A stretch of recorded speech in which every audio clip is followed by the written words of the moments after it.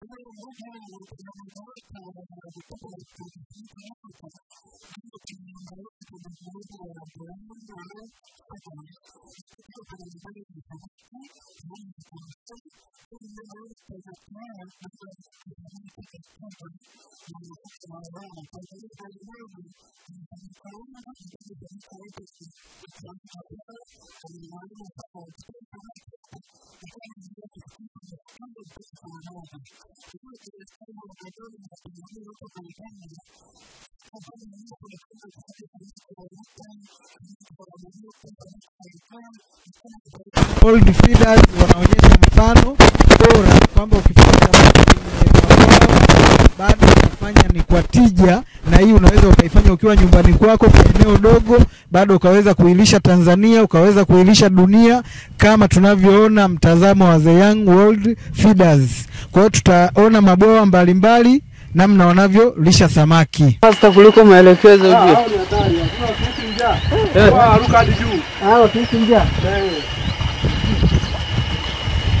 Hawa hapo ndo wadogo. Hapa samaki elfu mbili hapa samaki elfu moja Hapa wako mia tano nadhani, bado ni vifaranga. Unajua vimesha kula, vimepotea chini. Kile vifaranga kuta wametoka juu wote. Ah, hapo unajua wanakuwa wanahitaji chakula.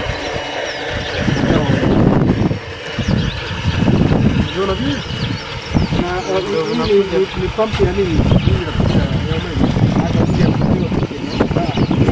Kwa hiyo basi, ndugu watazamaji na wasikilizaji, kuendelea kupata vipindi hivi muhimu na vizuri, usiache kusubscribe kwenye akaunti zetu, kushare na kucomment, ili uendelee kupata vipindi vizuri na uendelee kujifunza.